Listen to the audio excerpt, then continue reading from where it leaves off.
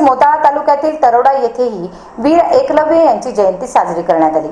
शासकीय आदिवासी आश्रमशाळेत एका कार्यक्रमाचे आयोजन करण्यात आले होते. यावेळी विद्यार्थ्यांनी सांस्कृतिक कार्यक्रम सादर करून कार्यक्रमात रंग भरला.